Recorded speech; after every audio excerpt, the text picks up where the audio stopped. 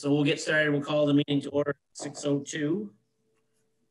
And first on the agenda is to approve the agenda. So if there's any any additions to the agenda, I know Teresa has one. Yeah, I have the addition, um, the revolving loan fund committee met with the Campbells and approved their loan. So it is for thirty thousand dollars, um, still at four percent. And it may be a little bit over thirty months. Carol said they were just basically keeping the twelve hundred dollar month payment the same. So if you guys approve that tonight, I'll reach out to Carol and he will call, um, I think it's Jeff Lewis who does, he'll do a promissory note. They're also gonna pay off their existing loan. So they have a loan, so they're gonna pay off their existing and then use the balance. Okay. So um, want to just put it at the end uh, behind uh, Bethel Royalton Transfer Station audit? Yep. Okay.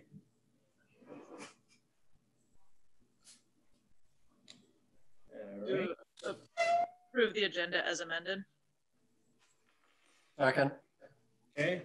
All in favor? Aye. All right.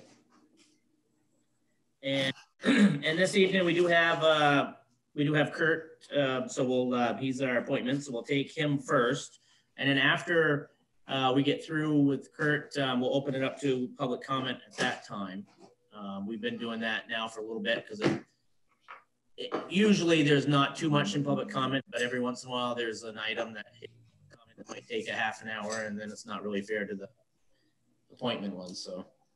Um, so we will move things to Kurt, and thank you, Kurt, for coming back. Yeah, uh, yeah. Thank you for having me back. Um, and uh, so uh, I figured if it's okay with you, I'll just give you the briefest of reports that I have at this point, and uh, and then if you all have anything you want me to to be aware of or be looking for or anything like that for you, then uh, let me know that. Um, uh, so I you know, this is, I've completed a couple full weeks of, of legislative activity. Um, and uh, at this point, um, I don't remember if I told you, but I've been appointed to the Commerce and Economic Development Committee, and uh, which I requested uh, precisely because I, I felt that that was the thing that Bethel and the other four, t- other three towns in our district are important to them. and um, and, uh, and I was appointed as the clerk of that committee, uh, which I guess is is something important. I'm not, you know, uh, it means I I handle some of the paperwork is what happens. I think, um, but um, and uh, I was also appointed the liaison to the um, Energy and Technology Committee, which is the one that's uh, working on broadband. And again, um, I sort of asked for that if if if I could have my my druthers, and they gave it to me. And again, mostly because as you're as we all are aware, broadband and, and cell coverage and all those are, are challenges for our towns. And I just wanted to be Right. in the mix and be able to to uh, be part of that. So um, and then uh, for caucuses, which are groups of uh, legislators across the political spectrums that that choose to have common interests that they want to promote. Uh, I'm a member of the uh, Climate Caucus. I'm a member of the Social Equity Caucus. I'm a member of the um, uh, of the uh, Workers Caucus for for kind of working people, and then I'm also the member of the Rural Economic Development Caucus. Uh, again, I felt like those were areas that could best sort of serve our communities. And uh, so I asked to be parts of those. Um, at this point, though, they're they're gearing up. Uh, everything is sort of in preparation for the governor's budget address, which is coming out, I think, tomorrow or this week. Um, and uh, at that point, since my uh, my committee is Commerce and Economic Development, we've been hearing a lot from the from the agency of, of uh, uh, community uh, commerce and community development and a number of other organizations such as that and we'll be going over um, you know, allocations and that kind of stuff. Uh, as, as doesn't probably doesn't surprise you, everybody wants more money, uh, and uh, and probably everyone's going to be disappointed.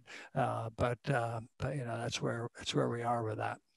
Um, and so that's pretty much where I am uh, at this point. Nothing that I'm aware of is is big, and uh, well, the budget's big, but but there are no other bills that I'm aware of that are are hurtling at small towns at this point that are in imminent danger of becoming real and having an impact, pro or con, on you. So, uh, um, but uh, uh, you have any questions for me or any things you are you've heard of? I I I, I gather uh, Therese gets. Uh, uh, uh, there have been times when I've sent her me- memos and she's already gotten the memo. So, uh, um, uh, so if if there are any things you've heard of that you want me to keep an eye on or look into, let me know. Well, I think, um, and what I'll do with, um, or, or I guess probably how we'll we'll do the conversation with Kurt is, you know, first we'll um, as as select people we can um, go around the table, and then if anybody um, in the audience has anything that they'd like to bring up to Kurt, um, feel free to like raise your hand in the chat message area, um, and then Therese or myself can um, call you guys guys and girls in um, at the appropriate time. So sure. Uh, I know the two things I had written down and. One's kind of more important to our development of the town. Yeah. One is kind of more what everybody's thinking about right now. But um, so the first one, uh, Teresa and I were talking today about it was, um, you know, we currently do have uh, two um, state highway grant um, applications in. Okay. Uh, one, one, is for uh, a bridge um, rehabilitation, and the other one is for the I'll call the rehabilitation of the Sand Hill section. Um, you know, typically, the state funds about seven million dollars a year in the uh, in that grant program for towns. Um, and last year there were no grants issued because of COVID. And then the rumor was that the grant funding would be would be um, funded by about half for this year, which is three and a half million. So I don't expect you, you're going to say yes, no, or it is, but yeah. maybe if you could look into it. I know that if it's fully funded, that I'm sure at least one of our projects is probably top on the list that will have a good opportunity of getting it, which we can continue to get our ducks on the row for it. Yeah. Um, but if you say, hey, it looks like the grant funding isn't there, it's going to be half as much, then we'll just you know, move that aside and work on other projects yeah. until that's ready. But uh, so that was kind of, um, yeah, I guess we, you know, we, um, Teresa and I have been talking about in regards to our projects. And then I think, you know, the big one that a lot of people are talking about right now is, um, especially after the meeting last week, is the, you know, the education funding piece. Um, you know, right out of the gate, it's a, you know, a 9% increase on the state education tax rate before it even gets to the local end, um, which, um, you know, a, as a taxpayer, I'm very concerned about such a jump. Um, yeah. You know, usually an average increase a year taxpayers are two or 3%, not, you know, 9% plus. Um, you know, not to mention a lot of people are still, um, um, you know, seeing the impacts of COVID financially. Um, not alone, you know, I was doing out the math and, you know, the right now, the proposed extra nine cents on the tax school rate here in Bethel, um, you know, that's $90 a year per hundred thousand. So, you know, for every hundred thousand dollars of your house is worth, you're going to pay an extra $90. That's just school. You know? And then you got to think, you know, our budget that we had proposed uh, is about two cents. So, you know, right out of the gate, you're at 11 cents, um, you know, which is, you know, 100, $110 per every $100,000 worth of value. So uh, that's, you know, that's pretty substantial. I mean, I would say the average taxpayer, you know, is what, $200 maybe um, increase on their taxes, which, you know, um, it's not nothing. Absolutely. Yeah. Yeah, I, I, don't know if there's anything better on that or anything or. I mean, you know, I, I know that it, that that there are huge concerns about that. I mean, those that proposal, if I remember right, came actually from from the uh, the governor's side, uh, and um, and the legislature is looking at that, trying to figure out what to do with that. Um, but uh, I know everyone's very very aware that that's that that's not uh, not not a popular uh, uh, thing to have. Uh, in the background, lurking, I don't know if you know, but the um, a report came out proposing to redo the entire education funding system, uh, it, it, uncoupling uh, the property tax for primary residences from from uh, uh, education funding, and that uh, you know that's a I suspect that'll be through a lot of process and discussion and over you know because it's a it would be a major change, but uh, but that's something that's been advocated now uh, by by all ends of the spectrum. Um, you know from from uh, from the you know Chamber of Commerce to the NEA to to you know kind of all the different all the different kinds of parties have said you know our our tax uh, system is is is not really uh, it's it's convoluted and it's not really working so hmm. uh, that would be that will be an interesting thing when that when that comes through what's the report say kurt what do they want to base it on uh, income yeah. Uh, the, this, this will kind of force the issue a little bit too, I think. Yeah. What they want to do is um, they, they want it to, uh, you know, because one of the points they made was that, um, you know, if you make, you know, if you make 10 times what I make, uh, if I make a, you know, $100,000 a year and you make a million dollars a year, your house is probably not, still not going to be 10 times bigger and, and more expensive than my house in which case you're getting a break. Uh, now there are all sorts of income sensitivity things that are built into you know the homestead re- rebate and all that stuff, uh, which just makes it more convoluted. But um, and again, uh, you know, on the one hand, that that makes our current tax system incomparable tax systems, it actually makes it more fair than a lot of other states. Um, but uh, but it's still, you know, uh, you're still get, you know, it still isn't uh, hitting the highest income uh, brackets. And so what they want to do is switch it to a to income tax. Um, the second homes would still be paying property tax like they always would. Um, commercial properties would still be paying property tax like they do.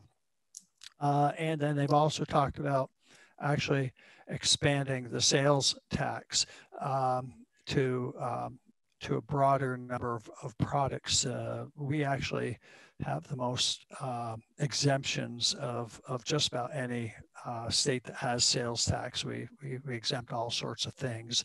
And, um, um and so they would be talking about cutting that down. And the idea is all this stuff would, would disperse the tax burden over a broader number of people and a broader number of, of sources of revenue so that the overall tax on property and that uh, for education and those kind of things would be uh, spread out more widely and more fairly based on people's income.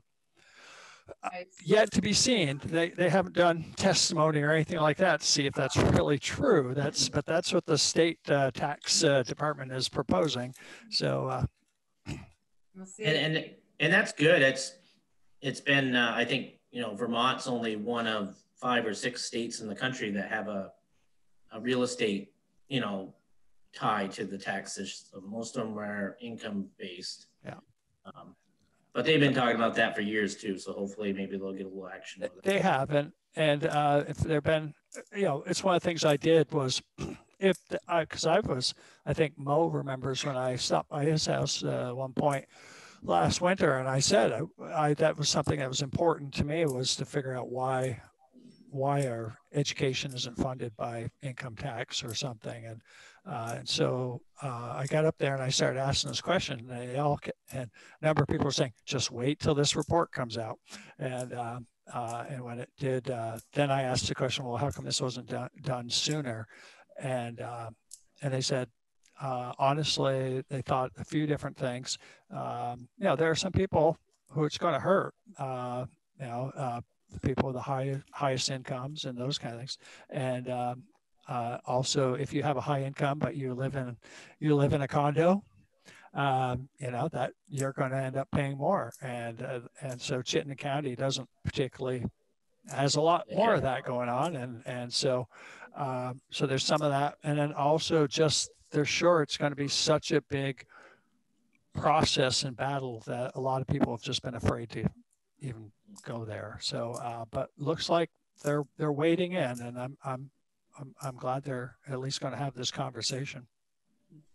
So, The other thing that's in the news, obviously, that's looming is uh, the pension liability. yeah, Teachers and state employees. Uh, now, Bethel participates in the state employee retirement system. Um, so I think that uh, NEA is obviously going to have field day because they don't want, you know, uh, the proposal right now is to not give cost of living increases. So I'm sure that'll get shot down. But um, I've been, I was waiting to see if we are going to increase our funding because right now, obviously, the um, an employee automatically a percentage of their salary goes in, and, and so does the town's share. And I think the last time they raised it, if I'm, was like October 2019, I think, for us. So I'm just surprised and, and don't understand how all of a sudden we could be short like 92 million or whatever that they need infused in it this year. Um, some of that some of that was that you know of course all of this is is based on projections. Um, you know so they're not out of money now. It's just that you know and and some of that was that um, uh, the it was based on projections of how their current investments would be paying off. And um, uh, and they were they had they had been over uh, um, over optimistic. And and so so if i remember i uh, actually a huge part of that that indifference comes right from there. But yeah uh, this is again of course from that comes from the state treasurer beth Pearce and she gave us a talk on it and she knew it wasn't going to be popular. And and i at this point get three or four emails a day from from teachers uh, expressing their their opposition. And and you know and I, and I rightfully so. And I think the question is going to be how you know how can they work that out? And uh, fortunately, I am I'm I'm just a baby legislator, so I'm not I'm not in a in a super hot seat like some of them will be, I'm sure. But I think it'll probably be a combination. I mean, I can see our um, on town and employee side, our contributions going up um, help you know cover some of that. So and then an infusion of cash from the state. So we'll we'll see. It's it was just Yeah. interesting to hear about it, but Yeah. um, Yeah. So, so Kurt, is there currently anything that is going to be on your agenda in your committee itself that may, may be something that, you know, Therese and, you know, should be looking out for, um, and yeah, Beth No, or downtown or? Not that I'm aware. Uh, there are some things that have you know they they talk about on the board, um, you know, because when you're at the actual state house, they have a bulletin board and they put things on the board on the wall, and uh, and then uh, uh, and then they and they usually get you know um, you know the they, they get through to about about a tenth of what's on the board, um, and uh, and so um, the uh, at this point the chair of, of the my committee is mo I mean he's mostly gathering that stuff, but he knows the very first thing we're going to have to look at is this budget when it when it comes at us, um, and I, I know. Uh, already the i mean appropriations and ways and means have both been meeting and and looking at the pieces they've been able to get from the governor but when it all comes down uh, that'll be the that'll be the uh, the time so my committee's mostly looking at that stuff where we've been meeting with vsac and you know and and all you know all because all the colleges are asking for more money. Uh, you know, every, you know, everybody. And so we're, uh, uh, all those. So Dave is in the chat. Dave Eddie has some questions. Um, Yeah. start with some comments. Uh, this uh, shortfall with uh, retirement, uh, last time I negotiated with the teachers, that was like five years ago. This is not new. This has No. been riding there on the horizon for years and years and years, and legislature does nothing about it. So it's time to jump in, even as the freshman legislator. Get your feet dirty. Jump in. Uh, Yeah. We'll, we'll help you make some enemies quick, Kurt, you know? Yeah. That, that, you can never have too, you can never have too many of those. Uh, Not. Maybe not. Be a leader. Yeah. Um, the other thing is, uh, I read those numbers on, uh, what was it, Vermeer, Vermeer, Vermeers or whatever that's called. Uh, Beamers, the Vermont Municipal Employee Retirement. yeah. You look at those percentages, my God. I didn't realize, I mean, I wish I had a retirement plan like that. Maybe we should be looking at that. I mean, if no, no cost of living, when the amount of money that the town and the employer are putting into that thing, oh my gosh. Hmm. So Yeah, And- and yeah, what plan you get. a new a new retiree, maybe people should look at cost of living that this uh, people who have worked for 45 years or more, they got a 0.03 cost of living raise, 0.03 that when you're passing out three and four percent cost of living raise to other folks, maybe they're not really realistic. So maybe we ought to be looking at that. Some points to make. Mhm. All right. The question I have is I know some small business folks that are, I know our unemployment rate is much higher than we'd like. But I know some small business people that are trying to get help. And people are saying, no, we're not going to come back to work. The state or the feds pass out money like it grows on trees. We don't have to look for a job. All we have to say is we're afraid of COVID, don't have to go back to work. We can draw unemployment forever. Obviously not forever, but if, if you guys would do something about that, like you got to look for a job. If you got a job offered to you and it's safe, you need to take it. All right, I'm done for now. Thank you. I may be back. All right. I think there is something on the Vermont unemployment website about that, about, um, you know, refusing to work. So I haven't read it, but I know, I remember seeing the headline, so have to see what's out there. Yeah. But people know, I mean, the two, these two people I'm talking, know of, they know people who aren't working that know the job. And they called and said, we really need you to come back work. And they said, nope, sorry. We're making too much money. Yeah.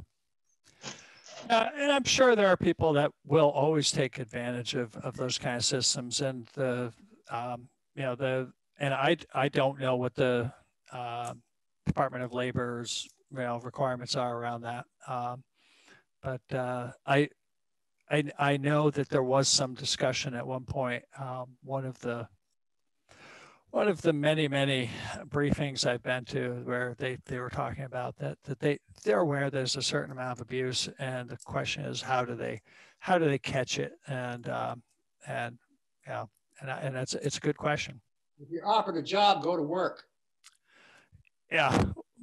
Yeah. I, Simple. I know, but how can, how can you prove that they didn't, that they were offered the job? Well, if you want, I might be able to get somebody to, well, yeah. Sounds like Dave's hiring. All right. There you go. no, I'm not, but I know who is. I, I know, you know, as a whole, Kurt, you know, and, you know, my, I've grown up in Vermont, been here my whole life and, you know, and what we continue, and anybody else that's been here for, you know, their whole life that we're really seeing, it happens every year, but we're seeing more and more is, is so much gets passed down from Montpelier to the local level. That by the time we get the budget, I mean, there's really not a whole lot of finagling we can do at the lower level to try to make it more cost efficient, you know? Um, you know, a lot of the costs are handed down from top to bottom. And, uh, you know, like this education one is, you know, a perfect example, you know? Yeah. Um, it's hard to make up, you know, nine cents, you know, on your tax rate, you know? Yeah. Um, you know, and, and if you do, who, at that point, who are you penalizing, right? I mean, you're, you know, additionally, you're penalizing the education of the children, right? So Yep. it's, it's a very difficult one, you know, hopefully, you know, there'll be more talks of the, I don't want to say Act 46, but more things of how can we be more efficient with our money and, um, you know, you know, our local municipalities have really taken it hard, especially over the last few Yeah. years. Yeah. With Yeah. a lot of that. it's it's know and and I know that at least a certain segment of the legislators are aware of it. I, I mentioned I'm part of the Workers Caucus, and um, part of the purpose of that caucus is that every is to look at every bill and every proposal with the question: uh, How does this affect the average working person? It's Yeah. not, it's not in Chittenden County.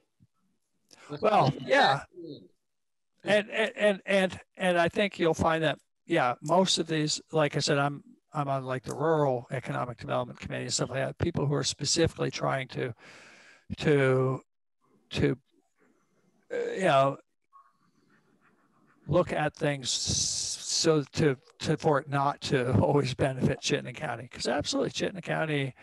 Um, you know they have the votes, they have the the the money, they have the influence, and and a lot of small communities. As you look at, um, if you look at uh, employment, you know, a, a whole bunch of. Um, I have a. I was just connected to from the who was this? This is not the auditor. Um, but it was one of the people who looks at different. Uh, she's works for the governor's office. She goes through all their programs and looks for inefficiencies and and and stuff like that. And and she was pointing out that if you look at almost any data about you know the, the prosperity of Vermont or the health of Vermont or anything like that, you look at it and you say, oh, that looks great. And then you you look at Chittenden County and Chittenden County, you go, that looks really great. And then you look at the rest of the state and go, oh, not so good. Uh, you know, Chittenden County just sort of you know skews the numbers so so that um, so that you know if it looks like Vermonters are making a darn good wage, uh, they are in Chittenden County. Right. Leonard also has a question. Yeah. I have a question regarding the revamping of the tax laws. Have you, you say that this has sort of been sitting around for years and sort of stalling and people are hesitant. Have you considered doing polls or surveys to get the people's information, see if the people want this and if they want this to use the people to move this forward? Have they considered what? I, I didn't quite. Polls, polling the citizens, polling the towns to see what people want. Polling, That information to push this forward faster?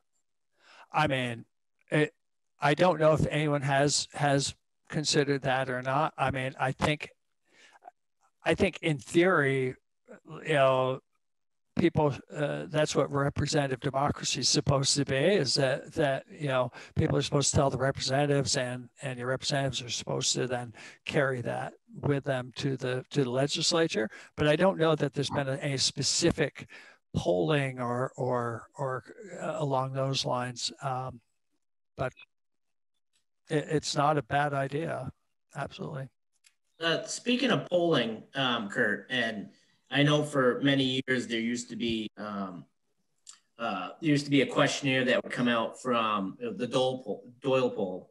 oil poll yeah Is anybody in the legislature going to legislation going to be picking up that? I mean, I used to always think that was a really neat. You know, he used to pick like maybe the top ten, um, you know, top ten, you know, things that were going on for that past year yeah might be, you know, uh, uh, uh, marijuana or something else, and then you know, then you could get everybody kind of feedback on town meeting day on, you know, do you like this? Do you not like this? It- Yeah. Is that ever going to get resurrected by somebody else or? I mean, it, it was a it was a personal initiative by Senator Doyle, and uh, and it, it arose out of the fact that he taught poli sci classes at Johnson, I believe, uh, and so it was actually originally sort of part of his educational piece for his students, um, you know, and uh, and when when he ran it long after he retired as a teacher, and even after he retired as a senator, but um, but uh, uh, no one has kind of picked that up. That was his sort of personal baby. But I agree. I think it, there were. Uh, I I was never 100% sure what he did with that data. Uh, you know, Mhm. but uh, but he certainly collected it. Yeah, and I think it, you know, maybe it goes a little bit with what Leonard was saying is, you know, at the end, you know, you, some of these maybe bigger topics, at least on town meeting day, if you can, you know, if all of a sudden you find out that eighty-five percent of the people really would like to see this. Yeah. At least it kind of pushes the legislation a little bit to act on it, you know? Yeah. Um, and, and, and looking back through, I was looking at some of them from over the years and, you know, believe it or not, I don't know what he did with them, but believe it or not, you know, you may be two, you know, one or two off that list did did see progression and eventually, you know, became law or Yeah. a policy. So yeah, maybe Yeah, well- Kirk White poll, or you know, there could be something like that, or Yeah. Um, I think he had a student staff. Um, yeah.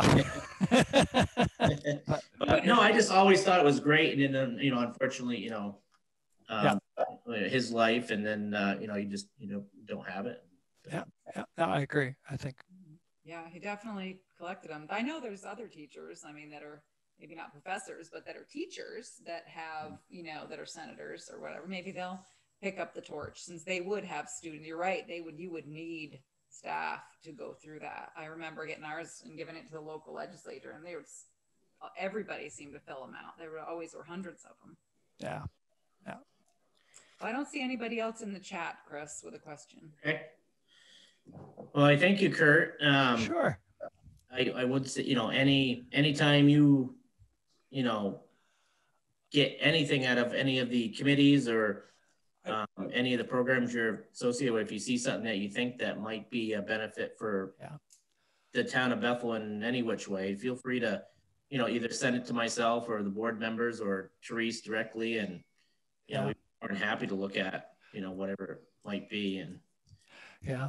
One of the things uh, uh, I was posting on my, uh, which uh, I think I, I posted on a Bethel Community Forum that on my legislative Facebook page uh, this last week, I came across a lot of different services for people trying to start small businesses or wanting to, um, you know, reevaluate or, you know, what they needed, uh, ways to apply for grants. Um, and uh, those kind of things.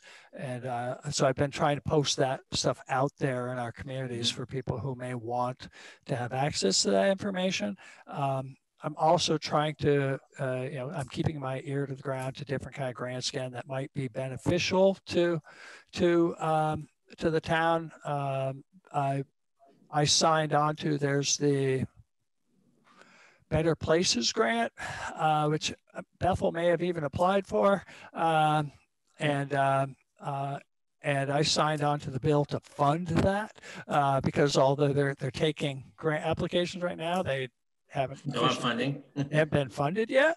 Uh, they're they're guessing they're being funded, but uh, uh, so uh, but I certainly thought, well, I think Bethel's applied for that. I'm definitely signing on to that. Uh, so uh, yeah, I'm trying to keep keep my ear open to those any kind of things that could benefit the, the, the projects things we're doing and again if you hear of something even if it's just a rumor of something you say i've heard there might be a thing uh, contact me and i'll fish around see if i can find find that thing Do we- So, yeah. Therese, do we have um, a link on our town webpage to Kirk's legislative page? Probably not, but I can. And if not, it might be neat for us to have a link there, uh, you know, our local legislator. Um, individuals could go to the town webpage and, and be able to pull up, you know, yours or, or maybe even, you know, probably the, uh, probably should have the Windsor Senators if they have a page as well. Um, yeah i don't know that i don't know if they do uh, but yeah you could check that out Yeah. um, Because, because then, it- then rather than you know, play the middleman, you know, we might be able to, yeah yeah we'll see, see this, uh, small business information on, you know, on your page, then, you know. Yeah. So that'd be good. Yeah.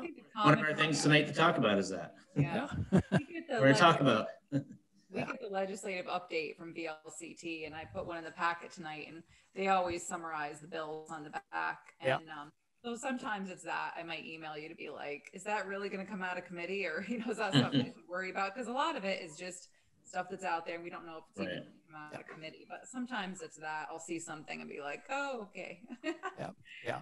It's just like, um, you know, my day job, uh, yeah, as an acupuncturist, there's a bill that someone proposed, um, uh, that, uh, was sent to the Health and Human Services, uh, Department. And so I sent a notice about it to the Acupuncture Association.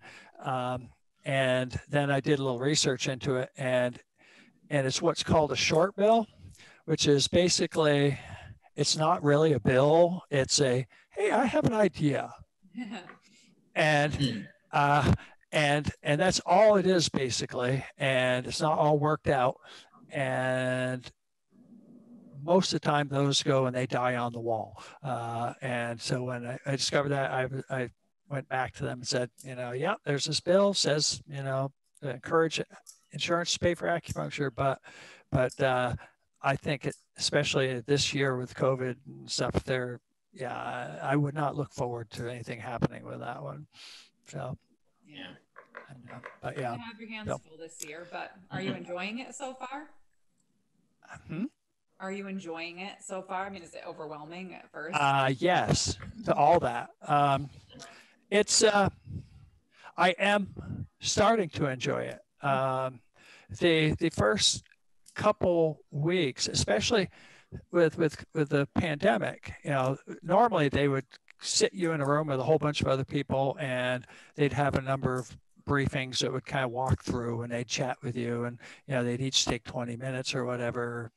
And, uh, but instead it's, it's nonstop Zoom meetings. Uh, my, my Tuesdays at this point between my first meeting in the morning and by the time I end my last Zoom meeting at night, I start at eight and I'm done by eight or nine in the evening. Um, and uh, um, so that's that's sort of the way it way it goes. Uh, but I'm starting to starting to figure out what the rhythm is, and you know, well, you know, which nights I can sleep and which ones I can't, you know, stuff like that. So That'll be good. Well, good. yeah, so It is a lot. It- Well, I mean, again, I think, I, I think it's great that, you know, that our, you know, we have our local legislators in our town, you know, it- yeah, it's really always handy to have that person, you know, you kind of know the path that Bethel's been on and. Yeah. And you're really local, so. And like I said, I, I really want, I really feel like um, it's important to have these kind of communications, either in this format or, or you know, uh, have Therese call me on the phone or something. You know, um, and I've tried to set that up with all four towns in the district, uh, just so, you know, just so you know what's going on. Mhm. So, We appreciate it. Well, thanks again, Kirk. Yeah. Um, all right. we probably would like to talk Yeah. all night and get the rest of our our Yeah, yeah. You guys have business. I, I can just. No, I, I have another meeting in another half hour. But anyway, all right. We'll, we'll, Thank we'll you. see. Thank, Thank you. you, Kirk. Thank you, Kirk. We'll see you in a month. We'll look forward to seeing you in a month. Thank you. right. Yeah. All right. All right. Anybody have any other comments in regards to anything that we talked about with Kirk or? I have, I have one more, one more question I just thought of, and which is maybe everybody will think I'm being a smart ass, but I'm gonna ask it anyway. And with all this Zoom meeting, uh, if we have approximately two hundred people serving the legislature, receiving approximately two hundred dollars a day in uh, room and meals times six weeks, that's in excess of hundred thousand dollars that we're gonna save this year. Maybe we could put that towards the deficit. You're funny. Yeah. As I say, stand up comedian right there, Dave. I'm very upset about that because No, you're right. I totally agree. an opportunity to save some money. Yeah. I, I did hear, um, you know, of course, I don't know for certain, but I did hear that there were some, some of those typical, um, you know, room and board type, um, things that aren't being applied right now. So I don't, you know, know for certain, um, on that, but, uh, I thought they were a little excessive when it was over a hundred dollars a day to eat. Uh, I can eat an awful lot of good food for a hundred dollars a day. I would, I would be a very large senator or, or legislator if I got that kind of money. but it would be good. It'd be fun. Anyway, Um, so we'll um, we'll open it up to the public comment period. Um, so if there's anything that's not on the agenda for this evening that anybody would like to bring up, uh, feel free to do so now. You can just uh, unmute and talk away.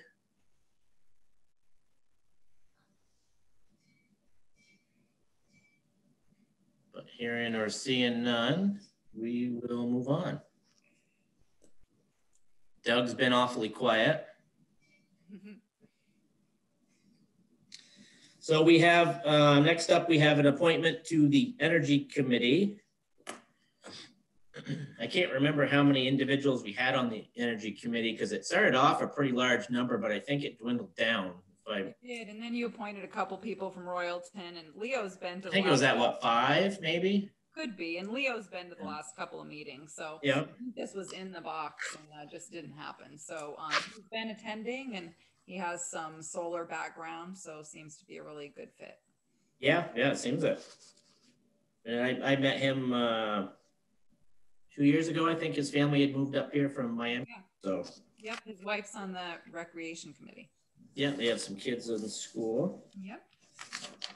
So unless anybody has any further questions there, just need a motion to appoint. Move to appoint Leo Bangerton to the Energy Committee. Second, Okay, all in favor? aye. Okay. Yeah, if I remember right, I think that might make six now on that committee, but, Could be. but remember, we have two, yeah, two Royalton Mhm. representations too. Okay. And uh, next on, we had um, uh, discussion in regards to H forty-eight, which, um, so the legislation had um, had approved two bills here over the last uh, month. One, first one was, was the authorization to allow towns like ourselves that um, do town meeting day in person to allow the option to go um, to Australian ballot without, we'll call all the red tape that you would have to do to get there. Um, and, and, and allow the um, local select board to make that decision, which we did. Um, and the second piece of it that was just, um, believe it or not, it was, you know, what was it, two Fridays ago, Therese? And Yeah, Leo. watching the news and I saw it come across on, and how they put it through on the news, it sounded like the old bill. And I was like, oh my God, Therese, did we move ahead before it even got approved? And so she got looking at it and said, no, this is a different one. So, um, so this last one, H forty-eight, what it does is that it, um, it authorizes a select board once again, if they choose to, um, to, um, do, or to go to hundred percent mail-in ballots like the presidential election. Um, so that, you know, is a, an option that we have. Um, you know, definitely the, um, you know, there are pros, the con, pros and cons of everything that we do. Um, you know, the way it's been uh, designed in the past was we've always had um, the option to, um, the option to Request. request through the town clerk a, a mail-in ballot, which is still, still the case. So any individual can call and request a ballot to be sent to them. Um, and, uh, you know, and then usually we did things in person. So um, I know talking, uh, you know, talking with the, the town um, clerk that she would rather, you know, just see it stay the way it is, you know, um, feel free to have as many people call in that wants or needs a, a mail-in ballot for, you know, whatever the cause may be medically or might be distanced or it could be COVID, right? I mean, you know, so you can call in for any of the reasons to get one other than just doing a mass mailing um, um, due to just, it's going to take a lot of work to do it as well as there's quite the expense to, to pay for it as well. So, Right, because when you mail out an absentee ballot, you mail, you're not only mailing the postage on the way out, but you also are including In. a self-addressed stamped envelope, and obviously that's nothing that we budgeted for. Um, and just so people know, there's a lot of options for people to request an absentee ballot. You can go online to my voter page on the Secretary of State's website. Um, you can town, call the town clerk's office or the town manager's office during the day. Um, if you're working during the day and you can't make that phone call, um, the town manager's office has voicemail, so you can call and leave a message. Um, you know, Great. saying that you want one, um, and you can also email the town clerk. So there are multiple ways to get an absentee ballot. Um, obviously, the polls will still be open at the school, just like it was during the presidential election. So there's a lot of ways that people can request a ballot. Therese, was there money included in that bill somewhere for, to assist with postage and? Not that I'm aware No, of. It talked no. about, because in Act, because let's see, we have two, because Act um 162 was the original one, and now this is H 48. It said that basically they could um no, I mean I didn't see any money in there, not yet. Yeah. Um, I think it it may it may come about as a reimbursement, but we're not. It's not certainly anything that they sent with it. Um, so we don't know yet.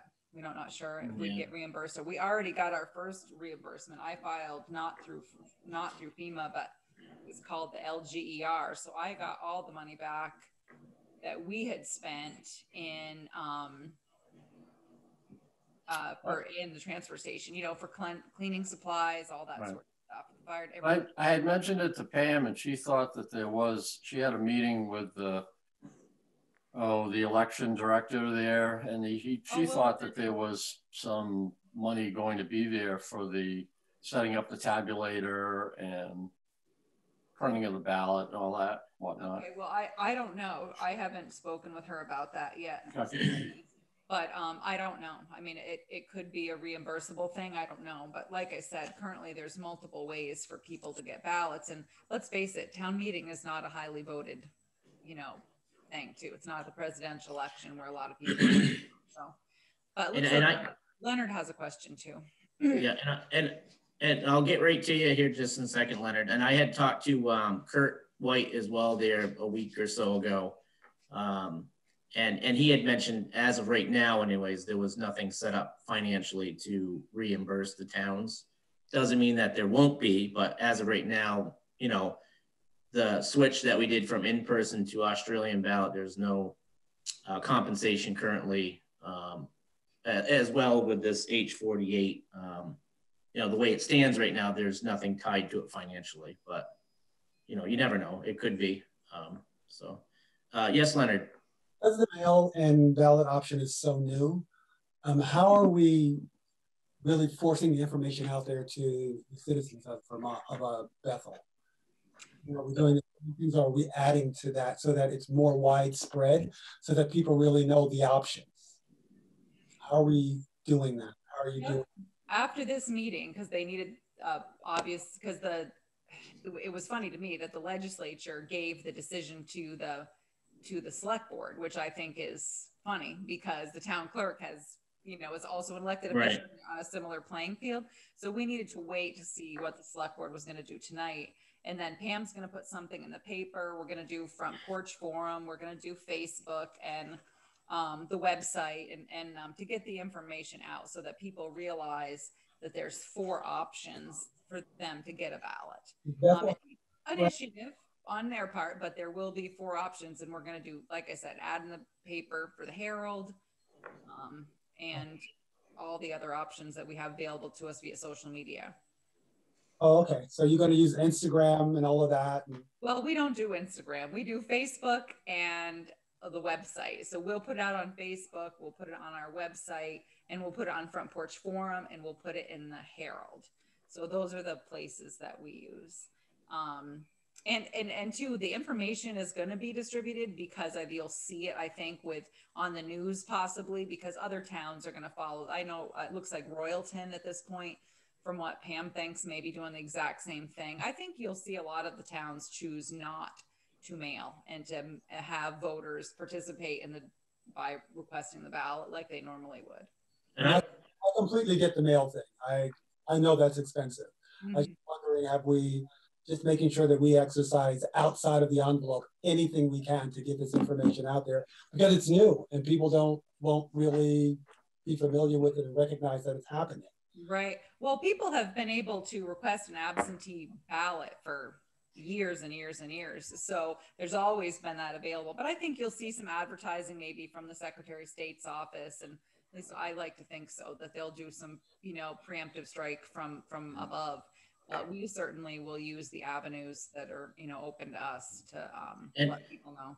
and we'll definitely do our best. And I, you know, fortunately, I think when you have such a a drastic change in a short period of time, like we have, you know, because everybody in Bethel is used to meeting in person and doing all of our conducting our business in person to now um, doing this. Um, I guess you say remotely, right? Come in, do your ballot.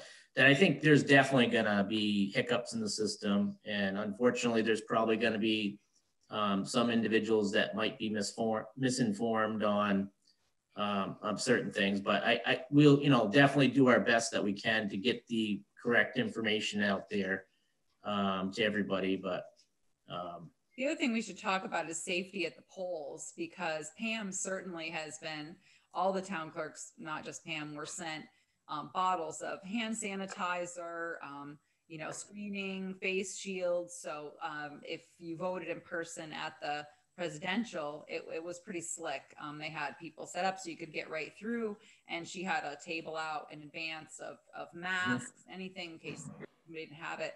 This time, um, it's better even going to be even better because while she had a great setup at the fire station, this will be at the gym. So it'll be bigger, which is nice. So she'll be able to have everybody really kind of spread out. I, I was actually kind of shocked that the legislation um, went and allowed that at the select board level because when you look at the way the um, the town clerk operates, you know, the town clerk is a voted in position. And, Yeah.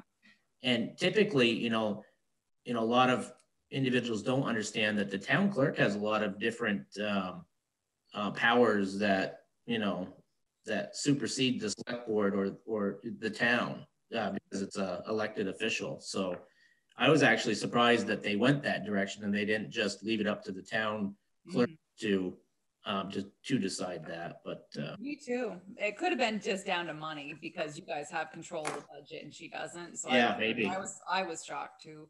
yeah, Um, so anyway, so you'll just need to um decide if everybody's on board with that or? And and that's why I you know that's why I talked to Pam because it's you know I guess the way I see it it's it's her her elected duties and what and you know what you know how would she like to do it? And um, sounded like from the talk that I had with her that she would like to do things the way she has done it in the past the way they're set up to do it which would be um, to have ballots in person and then anybody that that wants a mail-in ballot that she will get those to them. Yeah, So- that was my conversation with her and, and certainly Paul's the chair of the BCA and, um, so there's other people here to weigh in, but Mhm. But, um, I mean, what does the board feel? I mean, do we want to stick with the process that we have in, in hand, or we would like to change that, or? Well, I, I had a conversation with Pam about it from a BCA kind of point of view, and it seems like she really has a good plan. Uh, we'll have the tabulator there, so the only thing we'll need to deal with are any potential write-in um, votes that come along, and uh, we'll have a better setup for going through the ballots afterwards. And uh, it seems like she's got a, a good handle, a good control on how how it's all going to happen. It's a very safe uh, environment over there at the gym. So I, I would, I would be in favor of leaving it uh, the way we have it. I agree. uh, Mo or Lindley?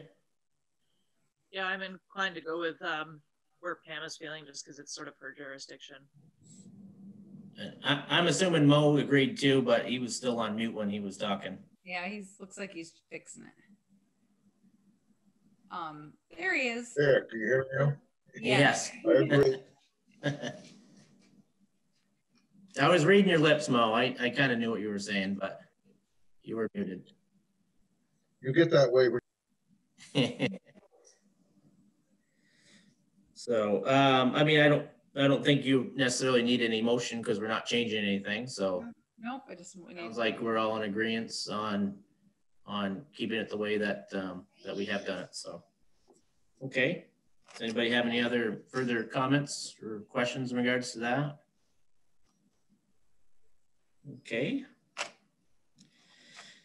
Um, and then we had a couple of liquor license renewals in there, a third, a first and a third class one for Toziers. So we'll just need a motion to approve. And then we will have to stop by and sign those at, at the office. Yeah, they're at the back door on a Oh, clipboard, just like we usually leave them. Okay. Mo moved it and Lindley seconded it. Okay, all in favor? Aye. All right. And, and did the Mascoma Bank change term loan, was that the one that you told me you didn't quite finish or is this one is finished? This is finished, yeah. This Okay. is, yeah, we talked about it. No one was happy, but this is what we got. So we have to, um, so it's Put it also, down? it's also at the back door, um, with the liquor licenses for you guys to sign. Looks like I don't need to sign. Oh, really? I I don't- saw- Yeah, Yeah, I three know. spots. There's only four. you can Just put your Yeah, name on it I'll- anyway. Well, I'm sure we can fit your John Hancock in. I don't care. Yeah, I don't know why they didn't put five. Huh, that's odd. Well, I remember for a long time after the board went to five, we had three. Every Oh. signing had three spots for the longest time. Yeah, I didn't even catch that. She asked me who they were. I spelled them all out for her. I didn't even catch it, but you can just sign it and print, write, print your name under, then she'll have it. Do you actually need a motion for this or? Yes. So just need a motion to approve the change in terms for the loan um, for the Mascoma Bank. So move. Second. Okay, all in favor? Aye. Aye. Under protest. Mhm. There you go. It's two of us then. We'll, ha- we'll have to shop around next time, Therese.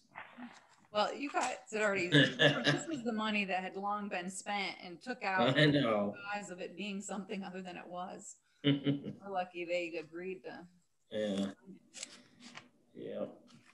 Um, and then next up, we got the, um, uh, a draft of a social media policy.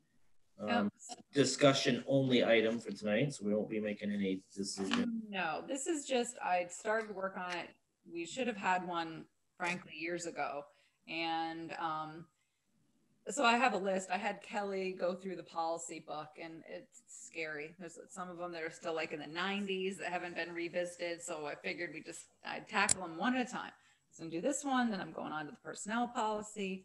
Um, so I really just wanted you all to see this. VLCT's template is like 17 pages long. It's a big deal um, because of social media policy. I don't think that people realize that when you promote discussion, like on Facebook, you could be violating the open meeting law or your that's the Public Records Act. And so there's a lot to it. For example, the town um, has a Facebook page. And I finally had Kelly shut off the comments because obviously it wouldn't surprise you. Some fairly not nice things were posted on there. And we don't have the staff to maintain it 24 7. So this way, you know, I tried to look at this policy in, in a way to, of, for us to distribute information so people can read the information, but we're still encouraging them to participate in duly warned meetings or calling their local rep, you know, their local, maybe call a select board member or call the office. But we can't have ongoing discussions on Facebook. That's just not appropriate for us. And you have to keep a lot of that stuff. And so there was a whole lot to it. So this is really just a draft. Um, I have already talked to Rita, who sits on the Equity and Inclusion Committee, and she's agreed to look at it. Um, I'm going to have Kelly look at it because she deals with social media. I'm going to ask Nicole. Um, Seer because she, uh, I don't know how it happened, um, but the Energy Committee has a Facebook page. I'll have Dietrich look at it because she, the rec, I think the rec has their own or has her own page. So, and I'll get Pam, you know, I get a lot of input and I'm also gonna, um, that way we can get feedback and I want your feedback. I want you to read it. And then if you have questions, either write, write on the policy and drop them off or, you know, send me an email and it's going to take a little bit of time. As you can see, it's, it's lengthy and it Mm. covers a lot, you know, First Amendment rights and what our rights and responsibility are of removing it. But um, Mm. I don't have a problem with, you know, like people having a Facebook page. For example, we'll use the Energy Committee. I, I don't know how they got one. Oh, the Conservation Commission, Lisa is saying, has a Facebook page. But, you know, with that, um, you know, comes great responsibility. And I have no idea who authorized these things to start. So um, I have another committee who might want to do a website. So I said, okay, but you have to come to the select board because I don't know how these others got started. And I, and um, that way people can talk about because yep the fire department has one that one i knew too. Yeah. and um so you know that's what's that saying? With great power comes great responsibility. So if somebody has a facebook page or a website they have to be in charge of it. They have to monitor it. We do not have staff to do that. And um, so i think what we need is a policy which kind of helps someone if they're going to if they're going to have a facebook page or a website Right. you guys have authorized. Um, but I also think it's important that the select board gets these requests. That way, um, a couple things happen. A, you know what's happening. B, everybody's doing the same thing. If our Facebook page doesn't allow comments, maybe nobody's should, you know what I mean? So that way everybody has a set of rules. I also don't want someone to get the town sued because by the conservation commission and, and the fire department, and, and then the, don't worry about that. The fire department also has HIPAA laws Oh, yeah. because if there's a fire and photographs and Yep. I think there's a lot more to it than people realize. And um, I just want to make sure that it's also fair to the person overseeing the website or the Facebook page that you have some rules because you could inadvertently get yourself and or the town sued by no, you know, by just not understanding all the rules that are or the laws that regulate it. So um, I'm I'm not anti social media. Well, maybe a little bit, but I just just um. But I think it's important that that we have one. And um, so that's really all I wanted you to know was I was working on this list of policies and would just like your input on it. And I will certainly send it. Now I'll find someone on the Conservation Commission. I want to make sure. Yeah, I'll send it to you, Lisa. I just want to make sure everybody that already has something existing gets input on it.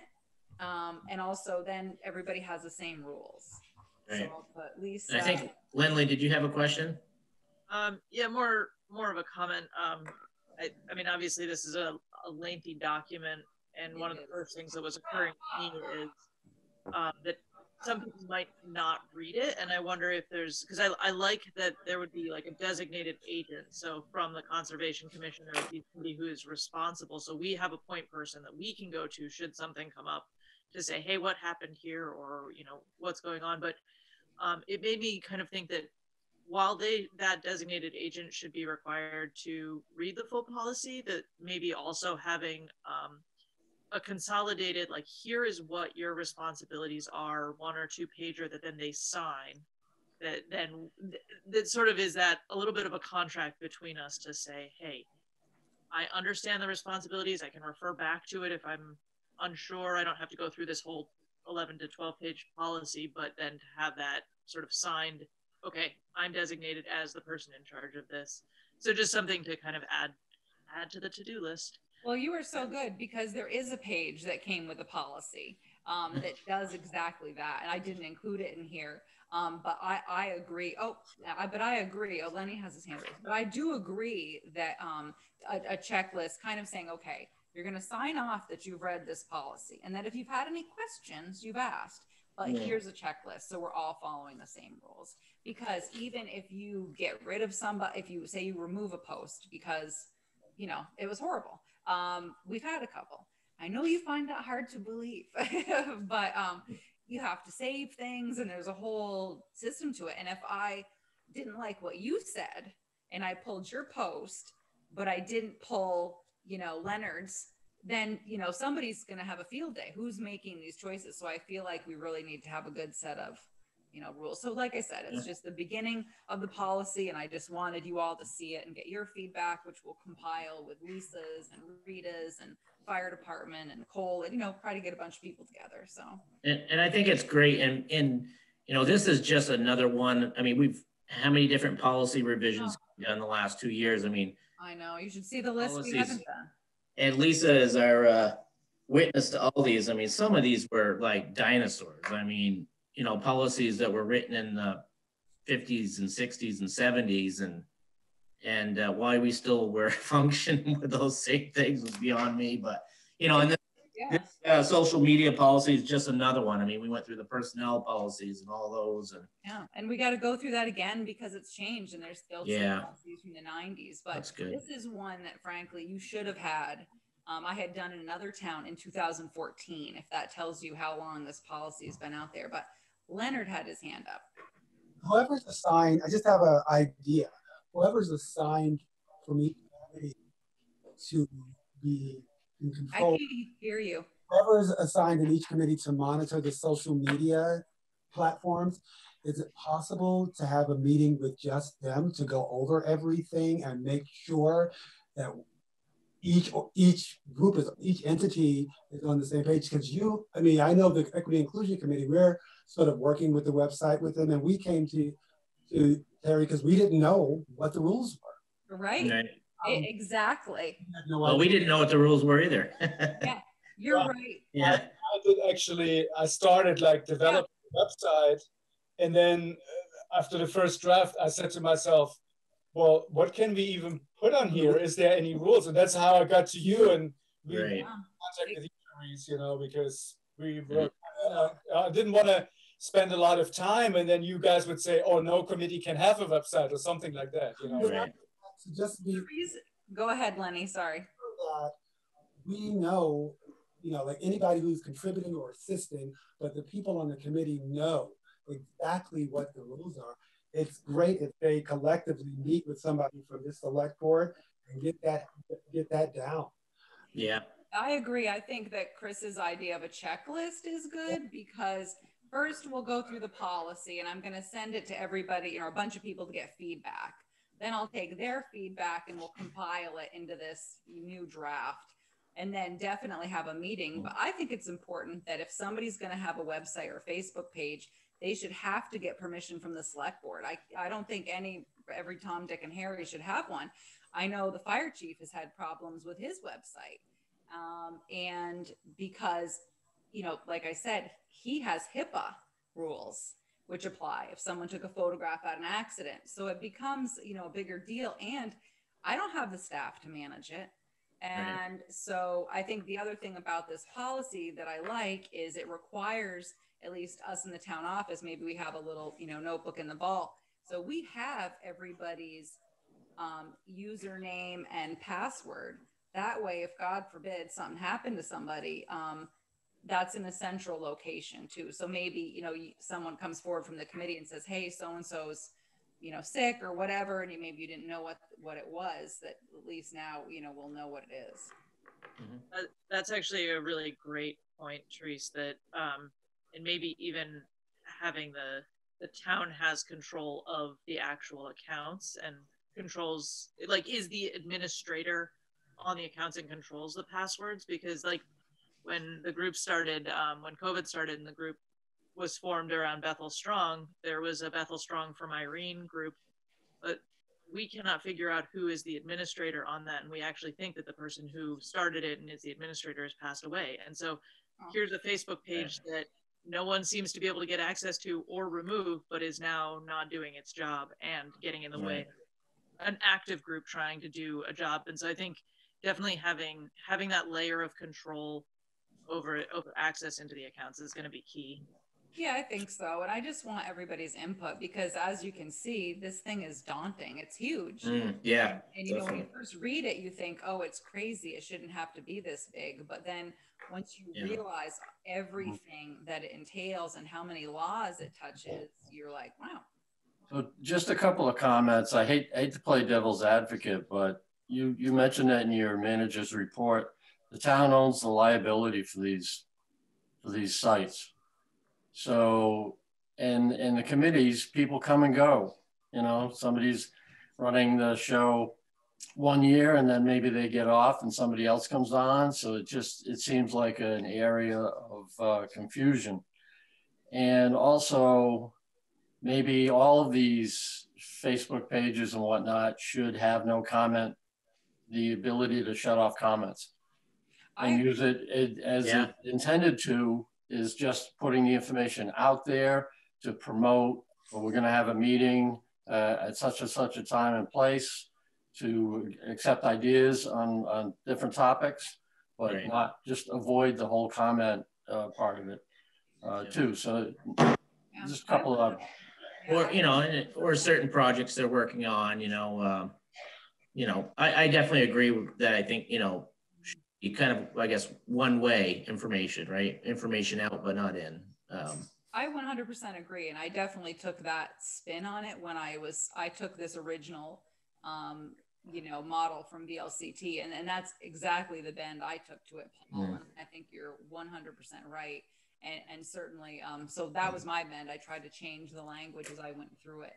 but well i mean unfortunately we're not a large enough municipality to be able to afford somebody to do this for us. But you know i mean the larger cities and towns they have um, you know social media coordinators. I mean i think lindley the school has one um, you know. So you know a lot of identities you know your employer you know large employers have them and um, and and unfortunately for our side we, you know we can't afford to uh, pay somebody just to do uh, social media. But um, i like uh, i believe it was lindley's you know we're just talking about you know that the town is in control of it but then you're going to allow certain users to um, you know one user per committee to you know be responsible for it and I think so, and it and it's tough too because there's so much to it. And I mean, hey, if we had money for more staff, I don't want to hire a social media consultant. That wouldn't be the position I would. I mean, we have enough problem managing our own website. You know, Paul Yeah. helpful. Other people kind of chime in when something's wrong. Um, Mm-hmm. You know, if you have five minutes, we'll try to go through it. all the links work. Is the info and it and it's um, you know, and things change. So, and certainly our whole mission is to disseminate information, but to get people to come to forums like this um, so that they can talk about stuff.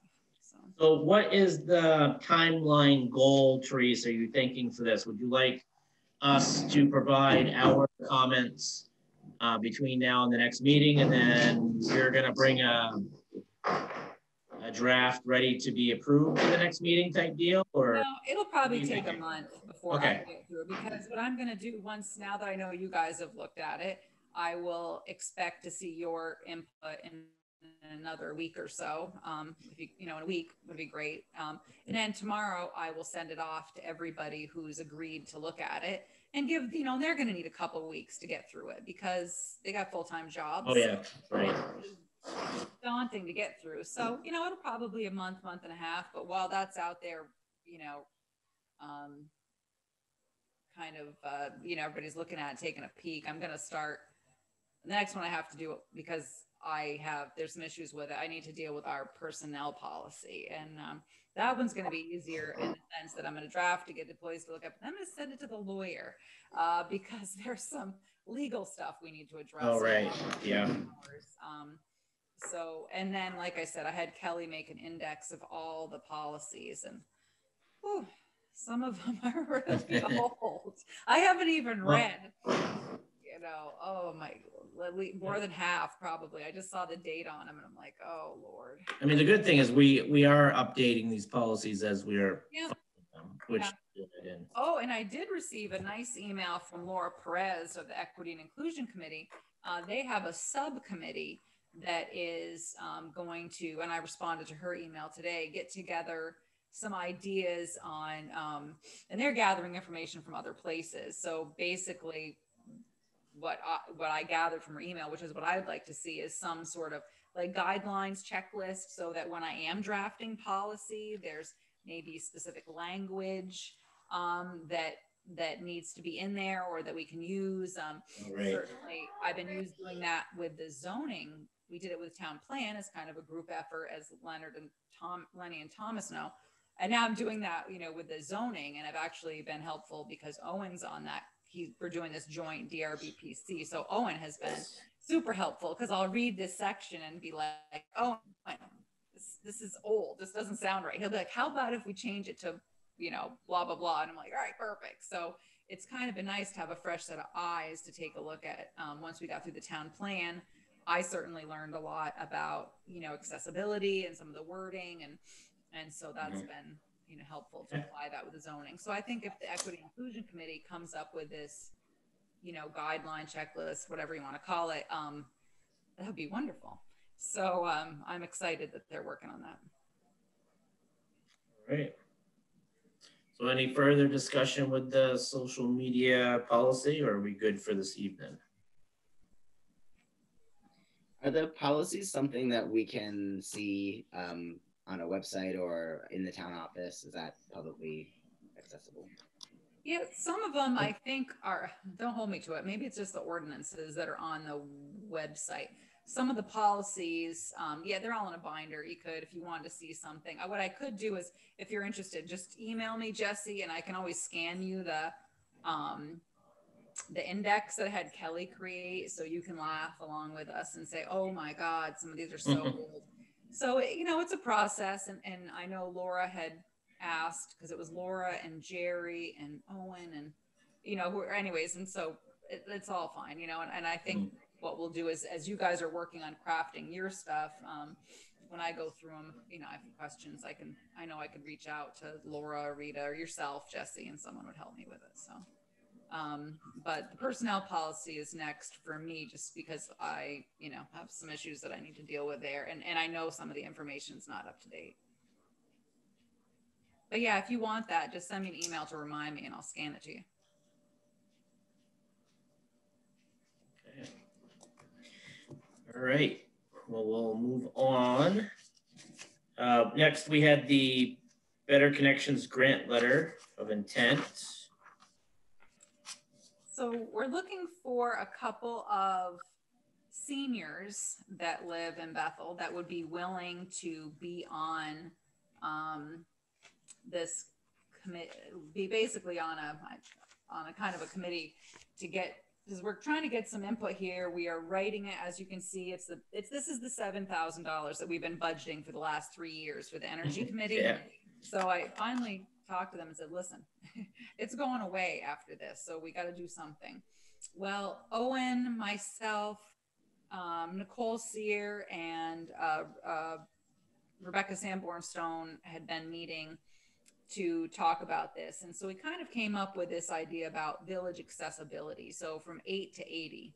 Um, as we know, a very typical issue for Main Street is accessibility to the businesses. So, and Rebecca thought that would be a nice um, twist on the application. A lot of people, um, you know, there's some standard stuff, but this would be unusual. She also reached out to the lady at AARP, and they would be willing to, you know, send a letter and, you know, be of support of it. So, what we'd ask for is basically what we're going to be looking for.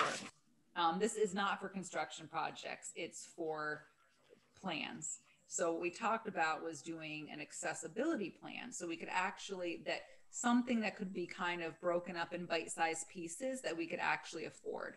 Because um, you know, we all been to towns where you have these wonderful plans on the shelf that there's no way in God's green earth you're ever going to get the money to build it. And uh, so that's just a waste. This is something when we put out the RFP that we're going to have it um, so that we could do something in stages. The other thing we came up with is low cost ideas for each business. So, say Babes, um, since Jesse's sitting here, what's a low cost thing that Babes could do that would make their building more accessible? And Owen definitely liked that idea. So that way we get something per business and then something, you know, as a town. Um, and also maybe trying to create connect in what Rebecca Ward uh, kind of uh, uses as a she calls it the necklace. You know, if we connected Peavine and the downtown, and so we don't want it to be so big that we can't get anything out of it, um, because you know if the plan has too high of a you know threshold, we'll never see anything. The other part of that was going to be um, so accessibility, and then may, I guess they like to see some sort of economic uh, survey. So part of it that um, Rebecca was thinking, or maybe it was Nicole was thinking, maybe you could do some sort of, um, you know, why are you losing? Where, why, when people aren't coming to shop in downtown, where are they going? So you can kind of take a look and see, Mhm. you know, where the where the customers are going. Um, so, um, let's see. So yeah, so we're looking for a couple people to be, um, a couple of seniors to be on the committee so that they can kind of review this and also be part of the RFP. What would you want to see as a senior? So that's something that we're, if anybody knows of anybody or wants to volunteer, um, that would be great. Our next meeting, I think, is I think it's next Thursday, or no, maybe it's it's this Thursday, I guess. Um, so that's what it is. So that's the money that we have. Um, there's a, also a stormwater component to it, but we have to see what that is. You know, basically the discussion was if it was going to super increase our grant match, we couldn't afford to do it, um, and we have not decided what that stormwater sec part could be. So we're working on that. Teresa, a couple people that come to mind um, as potential committee members. Um, you know, Rebecca had asked me this, and there are probably half a dozen to a dozen people who are are probably 60s and up that walk in town every single day. And um, one, so like uh, Carol Ketchum's one of them. There's a woman who I actually can't remember her name, but I I chat with her occasionally. Um, that she and her grandkids walk. She walks through town probably four or five times a day, and you know occasionally she'll have her grandkids. So there's, um, yes, thank you. um, so you know there there are definitely a handful of people that are actively using that accessibility. Um, and so like I think that uh, Carol might be a great starting place, and then he might even have some other suggestions. Okay, Um, I think is that it be great. does Norm Whitcomb also? Uh, Lisa, you might probably know. No, there's a guy who I I'm picturing, but I don't know his name. He work he walks like he just goes and he does not stop or look at you. Is Danny White? Yeah, Lisa's saying yes. I- I- Okay. Danny White or Scott White? What you got there, Lisa? Scott Putney walks every day. Oh, Scott Putney. Okay. um, but he's he wasn't who I was thinking of. Um, but yeah, there are a number of people that I think would be great for that as they use it for exactly what the grant is kind of going for. Okay. And New Woodcomb walks down through there. That's New. thank Yeah. you. That's what I meant. Okay, I'll reach out then to a couple people and invite them to the next meeting. Lisa's saying Cliff Cyphers. Um, and then we can, um, you know, I'd like to try to get a couple, you know, people on. So it's also going to become a kind of a steering committee. So it would be a bigger, it's not going to be just a one, one and done. It's going to be help us get the application and then let's get the RFP out. And Nicole Sear, luckily, has taken on a good portion of it. She's wanting to do I said, no, I don't have time to deal with that. I just can't. And um, the other piece was we did reach out to Two Rivers, so they will do a little bit of it because only 10% of the grant can go to something like that. So that would go to Two Rivers. But Nicole actually is um, excited to kind of lay things out. And, and um, so I think that'll be helpful. Um, I just said, you know, I'm happy to pay the bills and do the reimbursement, but I can't, you know, be the liaison and set up every meeting. And it's just going to be it'd be too much. But i think the overall feel is great. I, I like the idea of making you know bethel more accessible. And, and that's a problem we had in the town i came from. This it's the way it always was. Sidewalks are lower than the entrances to the business. You have a big entrance to your business right? Lindley the stairs. So you know i think this would be a nice topic. And and like i said as long as it's laid out so we actually would be doable you know that's the thing it's not just some crazy um you know scheme that we can't so Um, that's it Therese, just as an aside, because this whole conversation has brought it up in my mind, and I've been meaning to say it for a few weeks now. Um, when it snows and they do the snow removal, they've not been actually clearing the um, the curb cuts so that the snow is just piled at the curb cut and you have to actually walk up and over the pile. And at some point, somebody's going to complain or get hurt trying to get over a pile. Uh, I think it's just probably with a lot of turnover of who's doing it, they didn't know to necessarily go and clear out each curb cut where there's a crosswalk. Okay, so when you say curb cut, you mean where it goes down into the like those little things with the Yeah. bump, the tr- truncated. Domes? accessibility, the Okay, ramps, All right. um, but All none right. of the ones on Main Street have been cleared for Okay. any of the snowstorms. And I keep meaning to bring it up to you. Oh, I'll let Alan know because he hasn't changed, so he should know that that needs to be done. So accessibility to crosswalks need to be cleaned out. Thank All you. right, I will let him know. Thank you for telling me. Sometimes I drive through, I just don't notice that, you know? So I will tell him tomorrow.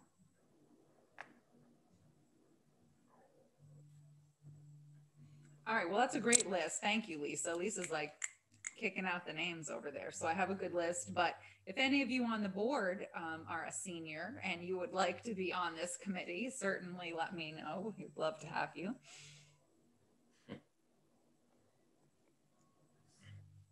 So that's all I have for better connections, Chris. Okay.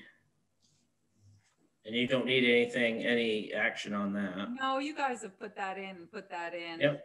And uh, for a while, so you know, you already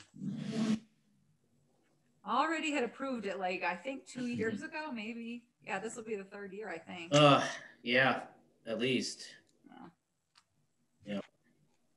Because we put it in there a couple years ago when we were talking about the, the potential electric car charging stations. and- Mm-hmm. So I think that's where, when it started and then we didn't do it the first year and we added it to the second year and Yeah. that didn't happen and, yeah. So no, so it's out. It looks like, you know, especially if we're the only one writing for accessibility, we, you know, stand a good, you know, they already accepted our letter of interest. So our letter of intent to mm. file. So they were, we already got, you know, on to the next phase, which It sounds, sounds like Kurt's, uh, signing us up, so, yeah, that's great though. He At was least. basically making sure we get money. So yeah. good news there. Okay. Um, and then we had the Bethel Royalton transfer audit information that, um, everybody got. Yep. The, um, so. Anybody the- has any big discussion on that now? Or, if- or if not, you can always get back to Therese or others with comments. So this went to the BRTS board at the beginning of the month. I can see Mo nodding, so that's a yes. And then the auditor, Rick Brigham, is coming to their next meeting in February. Mhm. So um, Jen and Mo had done a nice thing and asked, you know, everybody on the BRTS committee that had questions to get them to Jen, you know, a couple weeks prior, so I can get them to Rick um, Brigham, so that Rick's prepared for whatever the questions are going to be. But um, I think you guys normally get a copy of this, but um, I just wanted it on there. And um, I'm still, Rick is doing our single audit right now because of, you know, FEMA, and then we have the DWSRF. And then he told me today that he thinks we might, because Pinello Bridge and, and the rest of the DWSRF are going to kick in an extra, I might need a second single audit which I have not budgeted for, but knocking on all sorts of wood in my house right now. Um, we will have some legal money we could spend, overspend audit, underspend legal. So everybody knock on wood at your house right now and uh, we'll be good. so, um, I did reach out to FEMA and they're saying no, that we can't put any portion of this single audit. But I did reach out to DWSRF and the program manager there was out. So once I hear, maybe I can get some of it through there. So we'll see. I had a couple of questions, Therese, but I'll probably just catch up with you Okay. with them. So for the mo, I mean, it's a, it's the same pattern as what you're used to seeing with the town office or the town, mm-hmm. town office, the town and the smaller. So you can see their revenues, expenses and all that. And, um, but the main thing is that you can see at the time what the due to Bethel was at that moment. And Right. so, but like we always talk about, that's just a snapshot in time and that's Right. changing. so. Yep. But yeah, if you have any questions, email me. I'm happy to get back to you. Anybody have any questions in regards that they want to get out now or just follow up with Therese behind the scenes if need be? Well, We'll follow up with Therese. I got, had a couple of questions. Yep, okay. Sounds good. And then anything that we haven't touched base there, Therese, in regards to your town, oh, I'm sorry. Forgot about the Campbell, Oh, uh, yeah, me too. I had it there. PRL. so, So like I said, they, they have a loan, which I don't know off the top of my head how much is left to it, but they're gonna, they borrow the thirty thousand, they are going to pay off that loan. So this will be their only loan left. I don't think they have that much. They'll have, uh, basically, they left the interest rate the same at four percent, and then they left them at the same payment. So I have to run an amortization schedule based on their current payment. So Carol said he hadn't done all the math, but it was thirty plus months. Um, so they, he was very happy. I asked if there was collateral. He said no.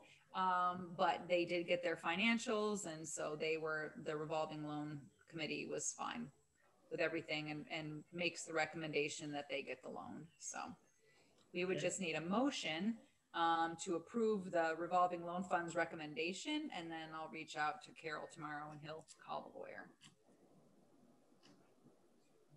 So moved. Second, Lindley moved it and Mo seconded. seconded it. So all in favor? I, Okay.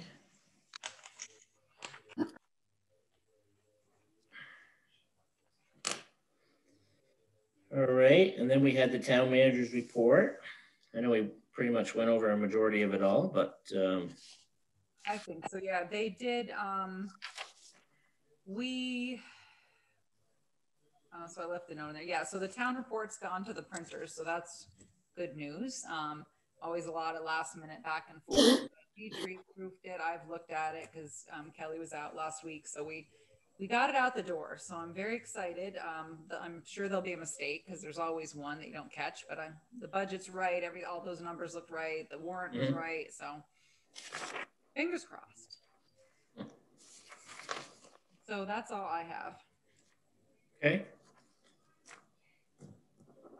Yeah, because I remember, what was it, last year, they cut off a portion of the Yeah, the warning. Yeah. services piece, right? And we just, it was one of those things. You looked at it and looked at it and looked at it. But Yeah. this time it was good. We got it earlier in the day.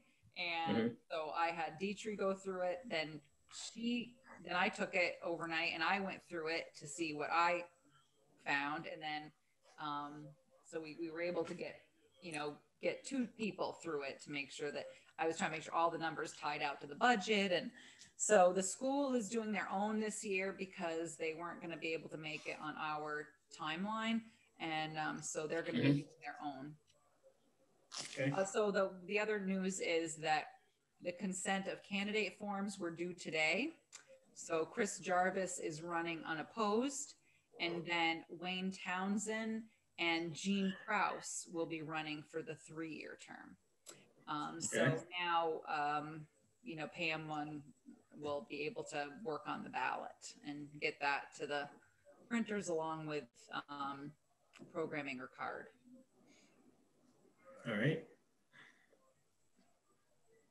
Did we have any other um, names for any of the other positions other than, no, which means Yeah. um, so the lister is the only is will be on will be open. I'm assuming Louise got hers in for her position, but the other lister position will be blank.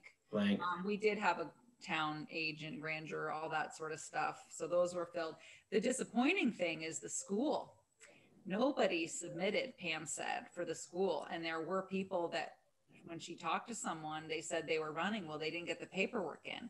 It means whoever draw is drawing the short straw and that counts, and that's a hand count, the school ballot. Um, you're gonna probably have all write-ins. So Ugh. Too I know it's Well, who's bad. buying pizza that night? Because we're gonna be there for a while. Well, it's at the school, so it's whoever takes ballots Ugh. to Royalton, and you count in Royalton, I believe, correct? Ugh. We counted both spots last year, if I remember right. Yeah, we actually, I think we went to the central office, to the SU office. Yeah, Yeah. that's right. You went to yeah, because usually you leave the town and go to some place for the school, so they're gonna have to. That's gonna stink. I mean, hopefully, um, All right in. That yeah. So because Pam called and was like, "Hey, you know, who's running for the school, and they said they had names, but they didn't get their forms in. So And unfortunately, it's just like paying your taxes. Like there is no forgiveness. Like you can't sit in tomorrow. You know, Mm, it's a it's a hard close on yeah, it. so it is. So that's too bad. So our ballot will be full except for the listers. Um, Mm. It's fine. We'll work with Judy. Um, you know, once and um, we'll make a plan for the future. But so yeah, so that we'll deal with that one. But the school is gonna stink. Now you're hand counting the vote yay or nay for the Australian for the budget, which would have been easy enough, but now you're gonna be doing that. And you have to write down every single name to see who's gonna get the votes and they need a percentage of the checklist. It's a whole thing. So I was just I felt bad. I, I'm disappointed because it just makes more work for the Mm. for the people counting. Yeah, I, I think I got a cold coming on for that night, so I won't be able to. Yeah, I won't go to the school. Yeah. Uh, Yeah. that's gonna be a long night. Yeah, wherever you School votes last year. Somebody else has to do it. That's right. There you. Trade off. Yeah. Oh, Get the new BCA members to go. yeah. I tell you. I actually had a husband and wife who did it for years and years and years in Bethel and Bristol. They did it for years. That Like was the presidential one was actually easy. It was. Yeah. and you know, what, there was only what like uh, there was only a couple of handfuls, uh, Yeah. you know, ballots that had to be counted behind. You know. Yep. What got tabulated, but And Bethel's will be easy this year because you're tabulating it and you're doing it on, the you know, you're counting it and it's so it would be Bethel's will be easy. It's the school that's gonna. yeah. I feel bad. That's too bad for anybody participating in that. So, um, yep. Long night. yep. So uh, we have uh, select board meeting minutes from the 11th.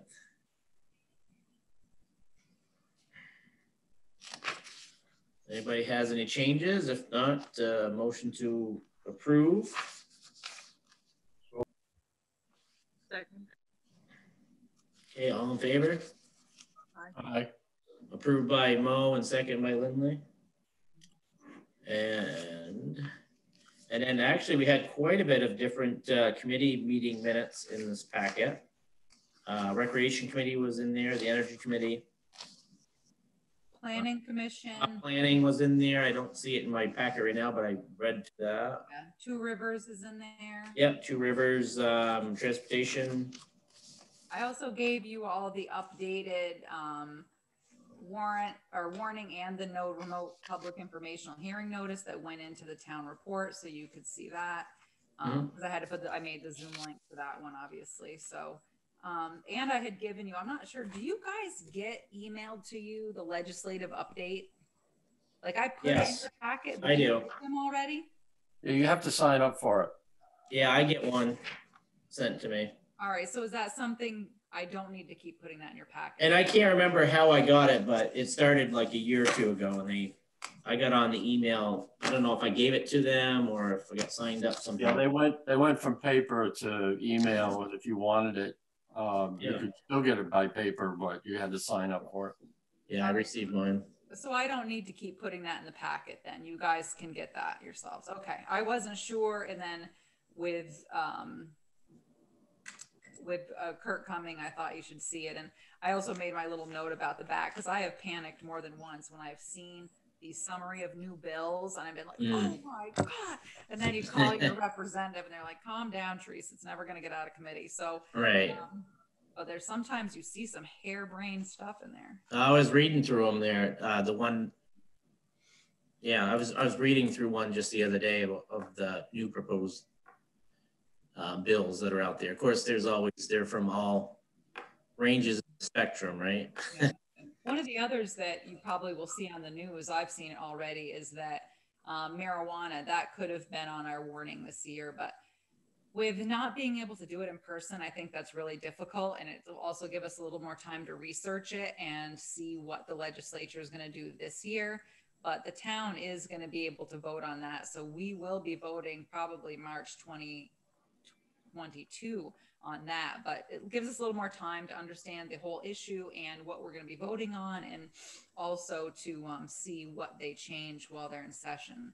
So that, you know, I've seen it already on the news that some towns are voting it, but that's something I want to be able to do in person and talk about. And Mhm.